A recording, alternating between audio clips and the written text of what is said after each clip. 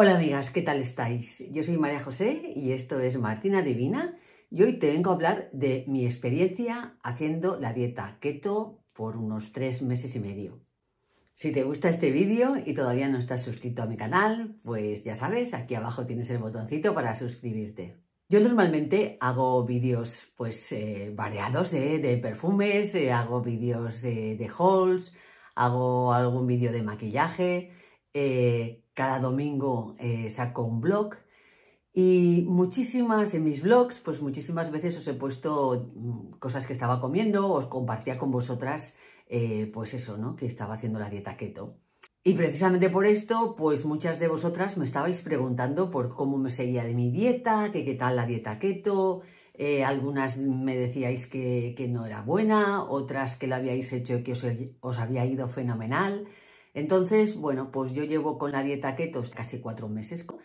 Eh, y bueno, quiero compartir con vosotras eh, mi experiencia. En primer lugar, quiero deciros que es difícil hacer este tipo de vídeos por es, precisamente por lo que os decía antes, mucha gente rehúsa este tipo de dieta porque dicen que no es sana, porque no es una dieta equilibrada, no es una dieta mediterránea, realmente es una dieta que sale un poquito de lo común. Eh, hasta ahora, eh, todo lo que nos han explicado de cómo seguir una dieta equilibrada, realmente la dieta keto no lo cumple. Y por lo tanto, entiendo estas personas que decís eh, pues que no es una dieta equilibrada. Por otro lado, deciros que yo durante este tiempo me he adelgazado 8 kilos, partía de 78 y ahora mismo estoy en 70 kilos. Y, deciros que no es la primera vez en mi vida que yo me adelgazo. Yo durante toda mi vida me he adelgazado varias veces. De hecho, con 32, 33 años, pues de 82 bajé a 58, 58 kilos. Estaba muy delgada. Y, en varios momentos de mi vida eh, me he ido adelgazando. Eh, podemos decir que lo normal eh, para un peso, yo mido un metro setenta y cuando me he encontrado mejor era con 65 kilos. Em, con 58 estaba excesivamente delgada, pero con 65 pues era un peso que para mí estéticamente me veo bien, me veo súper ágil, pero sí que es cierto que cuando vas cumpliendo años, pues esos 65 kilos son, por una parte, difíciles de llegar y luego también que eh, tienes un poquito que escoger eh, eh, cómo te quieres ver de cara, porque a una edad en la que todo empieza a caer, si te adelgazas demasiado, pues también te va cayendo la cara. Entonces, yo la última vez que me adelgacé así como muchos kilos fue en, en 2019 eh, ese año pues partí de 82 y me quedé en 65 kilos. Y pues bien, estuve con esos 65 kilos y del 2019 al 2023 pues voy poniendo. ¿Por qué? Porque me encanta comer, porque soy una persona, mm, como dicen, de buena vida, ¿eh? me gusta comer, me gustan las cosas ricas. Entonces, a pesar de que eh, me gusta mucho la verdura, me gustan mucho las ensaladas, pues también me gustan pues las cosas que engordan. Entonces yo pues voy poniendo y llega un punto que digo, mm", que normalmente es, me veo en una foto y digo, uff, ¿cómo estás? Y entonces pues me pongo seria y empiezo a adelgazar. Claro que sé cómo es una dieta saludable. Es que tengo muchos años. Todos sabemos lo que es una dieta saludable, ¿no? Yo creo que todos a estas alturas sabemos lo que es una dieta equilibrada y una dieta saludable pero a ver quién es capaz de cumplir eso durante todo el resto de su vida. Si yo, si yo hubiera llevado una dieta saludable cuando pesaba 65, no me hubiera engordado. Pero, pues, a veces comes un poquito de chocolate, a veces comes un poquito de queso manchego, a veces coges unas galletas de más, a veces estás haciendo un aperitivo con patatas fritas y comes patatas fritas. Entonces, esas son esas calorías que vas ingiriendo y que no las quemas y por eso te vas engordando. Yo sé que una dieta sana sería pues desayunar bien, comer eh, proteína a la plancha o hervida y, verdura o ensalada y cenar ligero. Eso lo sabemos todas. Pero pues felicidades a quien sabe cumplirlo. Yo no sé cumplirlo porque me gusta también comer cosas eh, que me engordan y comerlas a veces con poca medida, ¿eh? pues porque yo pues, soy capaz de comerme una bolsa de patatas fritas yo sola. ¿Que no se de hacer? Ya lo sabemos que no se de hacer, pero pues felicidades a las personas que podéis llevar ese tipo de dieta eh, equilibrado y que si un día os pasáis un poquito, que luego lo sabéis equilibrar. Yo eso no lo sé hacer. Las veces que me he adelgazado ha sido con una, con una nutricionista, con un, con un médico, pues no. Eh, todas las veces que yo me he adelgazado, varios kilos, bastantes kilos, ha sido sola. ¿Por qué? Porque cuando he ido a nutricionistas, que he ido varias veces, eh, cuando he ido a ellos o a ellas, la última vez fue una médico, una amiga que es nutricionista, médico nutricionista, eh, ¿qué me pasaba? Que no estaba suficiente motivada. Entonces, al final, lo que te explican ya lo sabes porque ha sido anteriormente, o sea, ya, sabes dónde están las calorías, dónde no están, que has de hacer ejercicio, eh, eso ya lo sabes. Entonces, la motivación te ha de salir de ti. Por mucho que te pesen cada semana, por mucho que la nutricionista te diga lo que has de comer, si es que ya lo sabemos. O sea, eh, a mí me hace gracia que a veces algunas personas dicen, yo, yo he ido a nutricionista y nunca, y nunca he comido tanto eh, como la, comida que ella me ponía. A ver, mm, la nutricionista te va a decir que te comas todo el pan que quieras, todas las galletas que quieras, que te comas eh, todos los fritos que quieras. No, la nutricionista te va a decir pues que comas correctamente, equilibradamente, que comas mucha verdura, que sí que comas ensaladas, pero te va a decir que tengas cuidadito con la fruta, que tengas cuidado con los hidratos de carbono en general, que peses el pan, eh, que no comas absolutamente nada frito, que tengas mucho cuidado con la pasta. Es que todo eso ya lo sabemos. Entonces, sigo diciendo, ¿no? A lo mejor hay alguien muy joven que todavía no sabe dónde están las calorías, pero una vez ya lo sabemos, ¿dónde, dónde ¿Dónde nos engordamos? Pues aunque vayas a una persona, un nutricionista que te pese, que te diga si lo estás haciendo bien o mal, es que uno ya lo sabe. Entonces, eh, yo siempre que me he adelgazado muchísimos kilos, ha sido sola. ¿Por qué? Porque me ha cogido en un momento de mi vida, en un momento vital, en donde he dicho basta. Y yo en esto soy como muy mm, y puedo mantenerme muy firme a lo que es comer bien.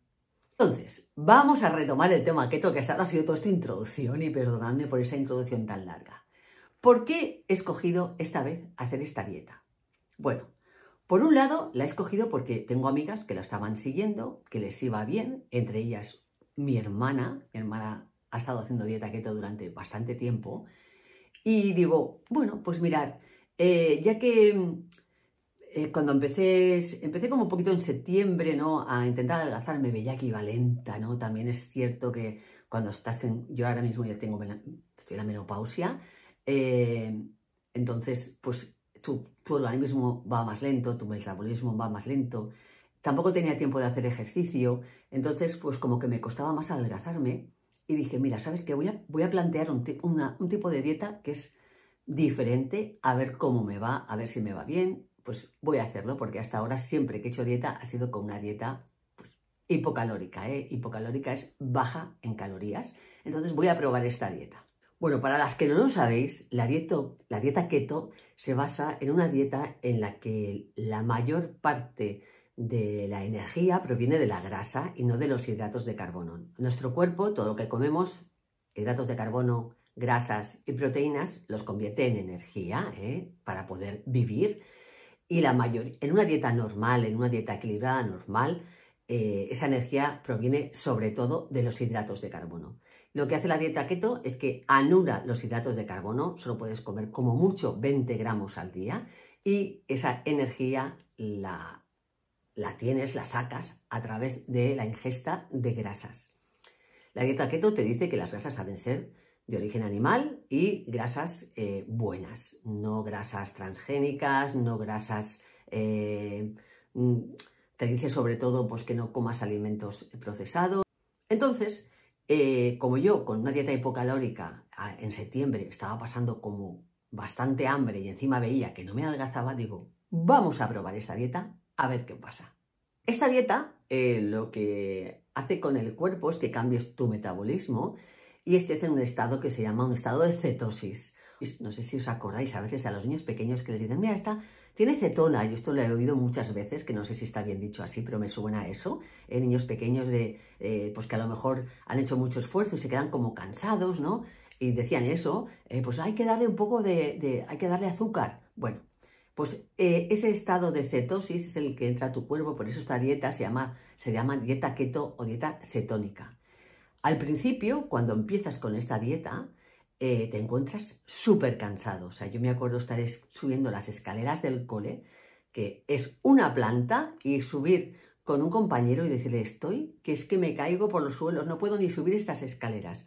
¿Por qué? Porque tu cuerpo encuentra ese cambio de repente de decir, ostras, mm, ¿de dónde saco la energía? Porque esta persona no está comiendo nada de hidratos de carbono y entonces tu cuerpo puede aprender a sacarlos de eh, la grasa. Yo os lo estoy explicando muy mal, entre comillas. Podéis ver cantidad de vídeos de cantidad de médicos que esto lo explican bien. Yo lo estoy explicando en plan divulgativo, con palabras fáciles para que lo entendáis, ¿vale? Entonces, eh, si algún médico está escuchándome, alguien que entienda de medicina, sé que esto se tiene que explicar mejor. Yo lo explico en plan resumido. Y esto que pasa cuando entras en cetosis, de que te encuentras cansado, pues le pasa a todo el mundo. ¿eh? También tienes un poco como de mareos, estás como que pero esto es una cosa que dura pocos días y el cuerpo pues se va haciendo al tema y mm, te vas acostumbrando. ¿Qué comía yo? Bueno, yo eh, añadí a estar en cetosis a hacer el ayuno intermitente por la mañana. ¿Por qué? Porque yo, em, el ayuno intermitente es una cosa que, bueno, pues no había probado nunca y pensé, bueno, pues es buen momento también para hacerlo. Y yo por la mañana cuando me levanto, desde que tengo uso de razón, pues nunca he tenido hambre. De hecho, me pasé años de mi vida, cuando era pequeña, tirando el bocadillo que me hacía mi madre, tirándolo cada día y no desayunando nada cuando tenía pues 7, 8, 9, 10 años. Más tarde eh, pensé que eso era debido al pan, yo soy celíaca y pensaba pues seguramente tiraba, tiraba el bocadillo porque tenía pan, pero también era porque no tenía absolutamente nada de hambre. Entonces, eh, aprovechando eso de que yo cuando me levanto tengo como el estómago dormido, ¿no? ¿no? No tengo esa sensación de hambre nunca por la mañana, pensé, bueno, pues está guay también hacer el ayuno intermitente por la mañana. Primero lo probé por la noche, pero me sentía, yo llegaba, yo, yo trabajo por las tardes, salgo de trabajar a las 9 de la noche, y cuando me llegaba a mi casa ya tarde de noche y me quedaba sin comer, era como que me sentía la persona más desgraciada de este mundo y pensé, no, es que esto no lo puedes hacer porque es que, es que vamos, mm, te vas a morir de tristeza, ¿no? En cambio, por la mañana no me siento ni desgraciada ni me siento triste, sino que para mí es normal. Yo me levanto, me tomo un café largo y ya está. Eso, eso es lo que quiero eh, sin poner sacarinas ni poner ningún tipo de edulcorante. Y, eso es mm, lo que yo me tomo por la mañana o otras veces un té. Eso es lo que hago. Pero cuando en la dieta keto, pues después por el mediodía, yo tampoco soy de grande, gran comilona por el mediodía, porque, bueno, pues me, puedo comer unas verduras, me puedo comer eh, una ensalada, una ensalada grande, eh, carne a la plancha, pescado. Bueno, esta es la ingesta eh, de por el mediodía que he estado haciendo durante todo este tiempo, una ingesta bastante hipocalórica, mm, porque bueno, no me, cuesta nada eh, saber que estoy comiendo bien y equilibrado. Y por la noche, que es cuando yo, es cuando me quiero dar mi fiesta, pues en ese momento es donde más, eh, se puede decir que donde más desequilibrado he comido, pero siempre bajo el tema keto. ¿Por qué digo esto? Pues por ejemplo, porque yo pues, puedo cenar eh, una ensalada, que está bien, pero cuando me empieza el run, run, run, run ese de, mm, algo más, quiero algo más, quiero algo más, quiero algo más, pues igual me comía una bandeja de queso gorgonzola. En todos los vídeos que he estado viendo de personas que tienen canales importantes sobre dieta keto, te dicen que el queso puedes comer queso, igual que yo, por ejemplo, mantequilla, no he probado la mantequilla porque es una cosa que la veo demasiado grasosa y yo no suelo freír ni suelo aderezar con mantequilla, pero pues queso, queso manchego, queso gorgonzola, quesos que tenían hidratos de carbono cero, pues he estado comiendo mucho.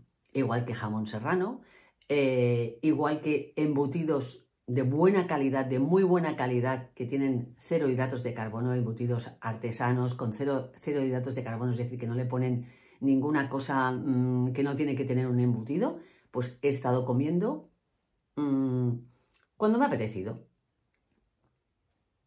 Porque la dieta keto se basa en eso, se basa en la grasa, para sacar energía. Ahora os voy a decir cinco cosas buenas de seguir esta dieta keto. ¿eh? Cinco cosas que dices, pues oye, mola seguir la dieta keto. La primera, todo es gluten free. Yo soy celíaca y, bueno, pues eh, el estar bajo una dieta en donde no existe el gluten, porque como no comes absolutamente nada de harinas y cuando comes algún alimento procesado tipo eso, tipo embutidos, han de ser artesanales y muy buenos y que no lleven absolutamente nada que no tengan que llevar, hacen que mi celiaquía esté a raya y esté comiendo súper bien. Otra cosa interesante es que no pasas nada de hambre.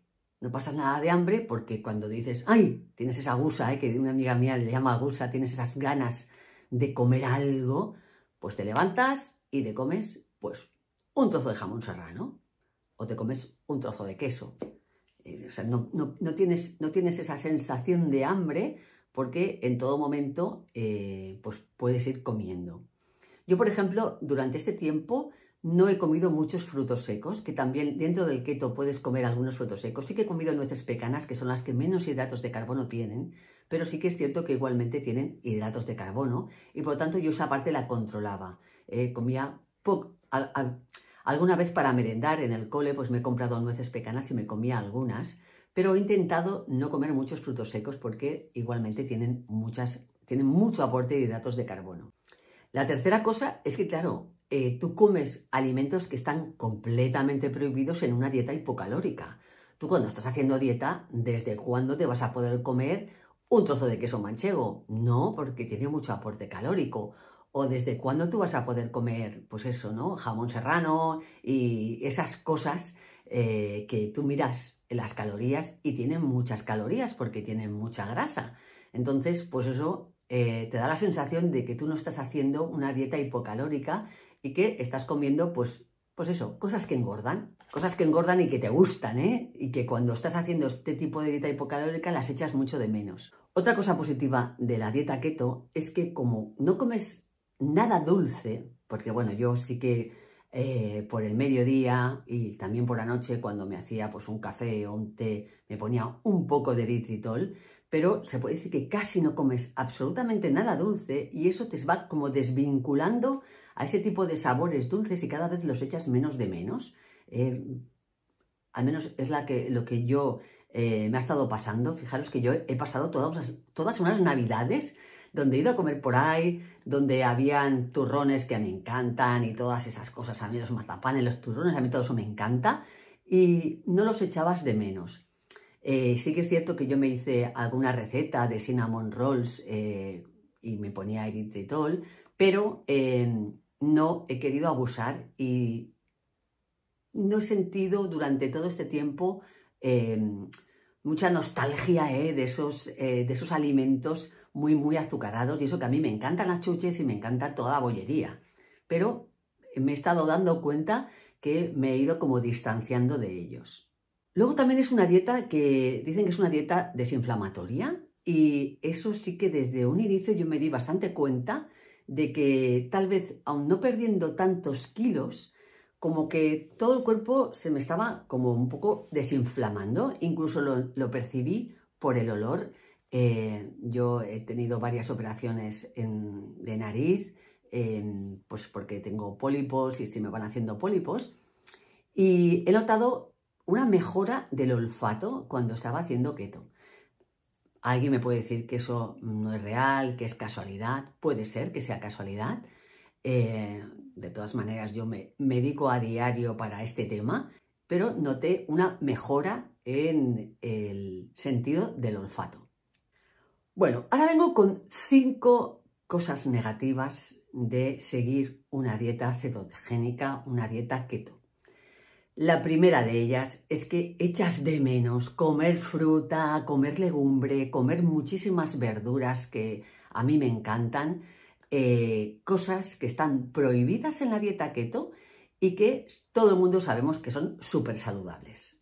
Eh, a ver, qué mejor que comerse una naranja, eh, que comerse una piña, que comer... Mm, bueno, pues todo, yo que sé, a mí me encanta toda la fruta, me encantan las chirimoyas, el mango, me encanta todo. Y no poder comer esas frutas, pues es como que te sientes un poco rara. Me podéis decir, sí que se pueden comer frutas. Sí, te dicen en la dieta keto que puedes comer frutos rojos, frutos azules, eh, arándanos, grosellas, eh, frambuesas, pero contadas, porque tienen bastantes hidratos de carbono, como todas las frutas, y eso hay que contarlo. Eh, tomates. El tomate es una fruta, tampoco puedes comer tomates. Sí, puedes contarlos. Vamos a ver. Eh, os he dicho al principio, yo soy una persona que me gusta comer. Entonces yo, para comerme tres tomatillos cherry con la ensalada, es que preferiría no ponerme. Prefiero no ponerme tomates en el caso de que tenga que estar contando.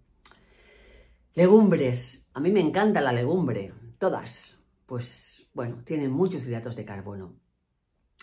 Eh, a mí me gusta hacerme un puré de verduras, una bichisuas. No puedes porque todo eso, eh, la cebolla, por ejemplo, tiene muchos hidratos de carbono. Claro, la zanahoria muchísimos. Ya no te digo nada, la patata, que eso ya ni lo digo, ¿no? Pero yo qué sé, los puerros. Entonces eh, te quedas como que, bueno, puedes comer, pues sí, mucha, mucha verdura de hoja verde, pero se te queda como muy, muy, muy limitado y te da la sensación de que estás perdiéndote cosas muy, muy nutritivas, cosas muy saludables para el cuerpo. Otra cosa negativa es que eh, cuando comes fuera de casa, pues es complicadísimo.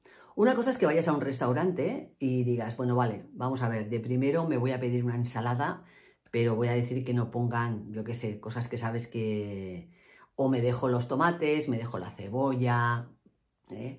Em, en un restaurante más o menos te lo puedes ir tú gestionando, ¿no? Y luego, pues de segundo plato, pues voy a comer un trozo de carne eh, sin salsa, sin acompañamiento, em, pues a la plancha o de la manera que sea, pero sin acompañamiento. Entonces tú más o menos te lo puedes hacer. Aquí lo malo es cuando vas de invitada. A mí ya me gusta ir de invitada siendo celíaca, pero siendo celíaca y con el tema keto es muy complicado. Hasta tal punto que durante estas navidades he ido a más de una casa y he llevado yo mi comida, haciendo un poco el ridículo y además sabiendo que puedo estar incluso mm, eh, quedando muy mal. Quedando mal, pues porque es como que no agradeces a esa persona que con muchísimo cariño eh, ha hecho esa comida para agasajarte y tú vas con tu tupper. Entonces, eh, te hace sentir un poco mal, pero claro, tú estás ahí y dices, bueno, es que llevo tanto tiempo en cetosis, solamente con que yo ahora me coma esto, que sé que lleva una salsa hecha con estas cosas, es que sé que voy a salir de cetosis. Entonces, ya os digo que yo soy una persona que lo llevo todo como muy a rajatabla cuando lo tengo que hacer bien y, yo he preferido, eh, pues eso, intentar llevarlo bien porque yo quería eh, esta experiencia llevarla a cabo bien y no decir, ay, pues seguramente yo ya he entrado en cetosis, a ver cuándo vuelvo. No, no, no, no. Yo he estado siempre en cetosis. Que por otro lado, estar en cetosis, yo al menos me daba mucho cuenta, porque tienes el gusto de la boca muy dulce. Es porque te llegan cetonas a la boca y tú estás continuamente, que tienes un gusto como si estuvieras comiendo, como si te acabas de comer unos caramelos. Y es, una sensación eh, que si miráis cualquier vídeo te dicen que para saber si estás en cetosis tienes esta sensación y yo la he tenido durante todo este tiempo. Mirad, otra cosa es que negativa es que te gastas bastante dinero en comer. ¿Por qué? Pues porque todo lo que comes es lo más caro eh, en la cesta de la compra. Mm, claro, lo más barato en la cesta de la compra pues es comer patatas, comer pasta, todas esas cosas que tú no puedes comer. Pero claro, si tú eh, compras quesos buenos, embutidos buenos, eh, todo eso que te dice la dieta keto que puedes comer son alimentos de los más caros en la cesta de la compra. La cuarta cosa es que tú sabes que no te vas a poder pasar toda la vida comiendo así. Eh, una cosa son las eh, personas que hacen una low carb, es decir, que hacen una dieta baja en hidratos de carbono. Una cosa es eso y otra cosa es estar haciendo keto para todo el resto de tu vida, eh, no ingerir hidratos de carbono el resto de tu vida. Tú te das cuenta de que eso no es sostenible en el tiempo porque te das cuenta de que eso no puede ser muy bueno para ti a la larga. Porque te das cuenta, fijaros, yo a veces pues voy a comer alcohol ¿eh? y yo eh, durante el tiempo keto mmm, no he podido ir a comer al colegio porque tengo varias opciones de primer plato y de segundo y mmm, ninguna de las opciones me iban bien, entraban dentro del keto. Entonces te das cuenta de que esto a largo plazo no puede, no puede seguir. Mm.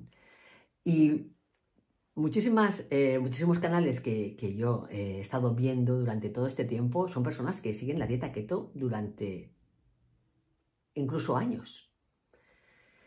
Eh, yo lo veo difícil. Y por último, eh, como punto negativo número 5, es que mmm, seguramente te va a subir el colesterol. ¿Por qué? Porque a pesar de que tú estás comiendo lo que en keto podemos decir que son grasas buenas, eh, que no es grasa procesada, sino que es grasa eh, de buen origen, pero pues te va a subir seguramente los niveles de colesterol. Y aquí vengo yo a deciros que yo eh, durante todo este tiempo he estado haciendo keto, lo he estado haciendo a rajatabla y me he hecho unos análisis de sangre y me ha subido el colesterol mucho. Me ha subido muchísimo el colesterol. Eh, no os quiero poner aquí mmm, cuáles son los resultados, pero pensad que yo nunca en mi vida he tenido colesterol y lo tengo muy alto. Tengo muy alto el colesterol, tengo muy alto el colesterol bueno, porque yo he comido muchos alimentos que tienen colesterol bueno. Tengo muy, muy bajos los triglicéridos, muy bajos, muy bajos los triglicéridos, que tampoco es normal. Y realmente es eh, bastante peculiar esta condición de tener, por un lado, el colesterol malo muy alto, el colesterol bueno también, pero tener muy, muy bajos los triglicéridos. Eh, cuando yo vi ese análisis busqué qué eran los triglicéridos y en la clínica Mayo encontré esta definición, que os la quiero leer. Dice, los triglicéridos son un tipo de grasa que se encuentran en la sangre. Cuando comes, el cuerpo convierte todas las calorías que no necesites usar de inmediato en triglicéridos. Si ingieres regularmente más calorías de las que quemas, en particular de alimentos ricos en carbohidratos, puedes tener los triglicéridos altos. Estoy editando el vídeo y creo que esto no, sé, no sé si se va a entender. Como no comes hidratos de carbono, se puede decir que casi no comes hidratos de carbono, solamente comes 20 gramos al día, que es muy, muy, muy poquito. Entonces, tus hidratos de carbono, al no tenerlos, pues no produces triglicéridos. ¿eh? Los hidratos de carbono que no son consumidos, no son convertidos en energía porque no te hacen falta, porque no haces suficiente ejercicio, ¿eh? en tu actividad diaria no los consumes, entonces se convierten en grasa y son los triglicéridos al no consumir hidratos de carbono, los triglicéridos salen muy, muy, muy bajos, menos de 50. En cuanto recibí los análisis, se los pasé a, mi nuera, que es médico, y ella me dijo, no hay problema, tienes bien el hígado, tienes bien los riñones, eh, tienes alto el colesterol, pero tienes muy alto el bueno, tienes bajos los triglicéridos. Me dijo, no tienes ningún problema, pero yo te aconsejo que dejes la keto. E-, ella me lo dijo desde el primer momento que no lo hiciera, ¿eh? Y en ese momento yo también dije, stop, ya está, ya, ya vale, ya vale de mm, tener esa limitación eh, de comer, ya vale de comer grasas. Ha llegado a un punto en que eh, tengo ganas de comer otras cosas y, y a partir de, de eso, ¿no? de tener esos análisis, dije, se acabó la dieta keto.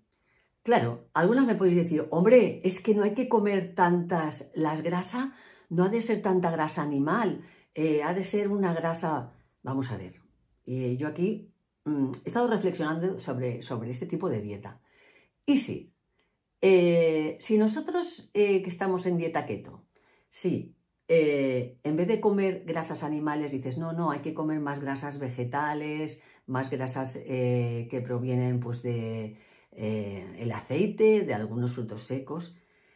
pero no te puedes pasar de 20 eh, gramos de hidratos de carbono al día, por lo tanto no puedes comer todos los frutos secos que tú quieras libremente.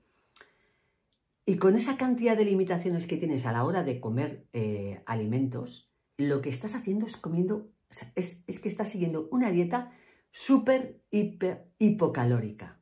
Es decir, si tú estás en keto y eh, estás em, controlando tus grasas animales, estás en una dieta hipocalórica con una cantidad de restricciones que ninguna la tiene. Si yo digo, venga, voy a seguir con la keto, no voy a comer hidratos de carbono y voy a intentar comer poquitas grasas porque quiero que me baje el colesterol, poquitas grasas animales, bueno, es que en ese momento estoy haciendo una dieta tan estricta y tan hipocalórica que a lo mejor al día estaría consumiendo unas 600 calorías. ¿Por qué? Pues porque si yo dejo de comer pues quesos, embutidos, si dejo de comer grasa animal y lo que hago es comer solamente pues pollo a la plancha, pescadito hervido y encima solo puedo comer espinacas, hojas verdes y no puedo comer frutos secos porque también se me van a pasar los hidratos de carbono, pero esa dieta, ¿qué dieta es? Mirad chicas, estaba ahora editando el vídeo y digo, a ver, eh, quiero explicar mejor esta parte. Y yo lo que, lo que os quería decir es que yo podría haber, eh, después de ver los análisis y ver que tenía el colesterol tan alto, podría haber decidido eh, pues seguir con la dieta keto mm, y comiendo menos eh, grasas provenientes de la carne y de los quesos. Pero si yo hacía eso, tenía un tipo de dieta súper limitado ¿Por qué? Porque si solo puedes comer 20 gramos de hidratos de carbono al día, quiere decir que no puedes comer absolutamente ninguna harina, claro, estás en keto, eh, pero luego también todo lo que son eh, los hidratos de carbono que provienen de los frutos secos tampoco puedes comer. Eh, no puedes comer casi, casi ninguna verdura, o muchas, mm, puedes comer muy pocas verduras porque también tienen hidratos de carbono. Absolutamente no puedes comer casi ninguna fruta porque también tienen muchos hidratos de carbono. Por lo tanto, imaginaros qué tipo de dieta te quedas. ¿no? Es una dieta eh, que yo creo que es la dieta mm, más estricta que uno se puede imaginar. Porque cuando tú estás haciendo dieta, cuando vas a, a, un nutricionista que te haga una dieta, pues muchas veces te dice, bueno, pues por la mañana te puedes comer un poco de pan con pues a, lo mejor te dice con un trozo de queso, a mí me han, a mí me han dicho un trozo de pavo, eh, puedes comer una ensalada donde te pueden haber tomates y pueden haber eh, pues cosas que en keto mm, hay que tener mucho cuidado. Em, a lo mejor te puedes tomar yogurts, en keto, bueno, pues todo lo que son lácteos no los pruebas. Es decir, eh, se te restringe muchísimo más la típica dieta que te pone un nutricionista. Todavía es mucho más estricta. Entonces, ¿qué gracia tiene estar haciendo keto si tienes que tener una vida tan, tan triste? Yo creo que todas esas personas que, todos esos canales donde hablan de dieta keto y donde salen recetas de panes, de postres, mmm, bueno, eh, en verdad eh, Sí, tú te puedes hacer un pan, te puedes hacer un postre, pero te has de comer muy poco porque a la mínima, a la mínima llegas a los 20 gramos de hidratos de carbono. Entonces, no os dejéis engañar por todo eso que veis, porque estar en keto es comer como máximo 20 gramos de hidratos de carbono y eso se come así de rápido. Entonces, no os dejéis engañar porque, uy, voy a poder comer mucha gente que hace dieta keto, pero pues está comiendo estos panes. No, son panes que son muy bajos en hidratos de carbono. Son muy bajos en hidratos de carbono, pero las tienen. Y por lo tanto es fácil llegar a 20 gramos de hidratos de carbono. Si quieres estar haciendo una dieta keto real, quiere decir que estás en cetosis, quiere decir que tú no ingieres hidratos de carbono, como máximo esos 20 gramos.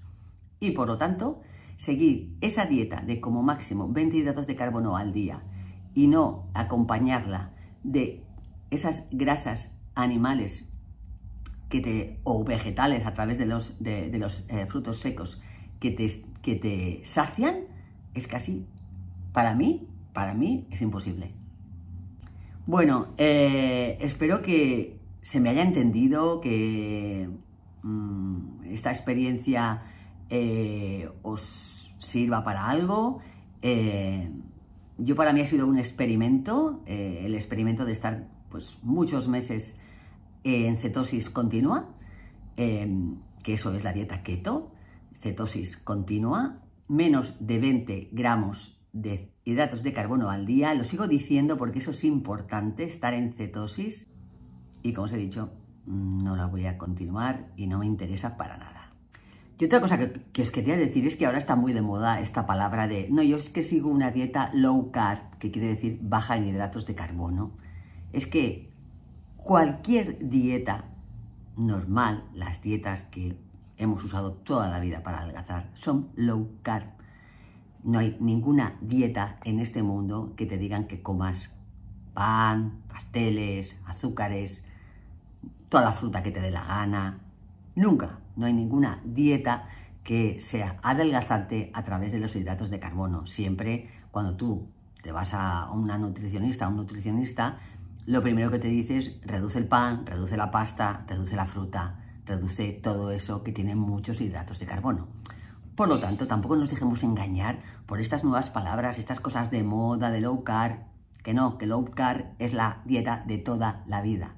Otra cosa es la keto y es estar en cetosis. Eso es otra cosa diferente, es un cambio de tu metabolismo para eh, estar consumiendo eh, las, las grasas como si fueran hidratos de carbono. Son cosas muy diferentes. Pero la dieta low carb es intentar comer menos hidratos de carbono, como hemos hecho toda la vida, tokiski para adelgazar.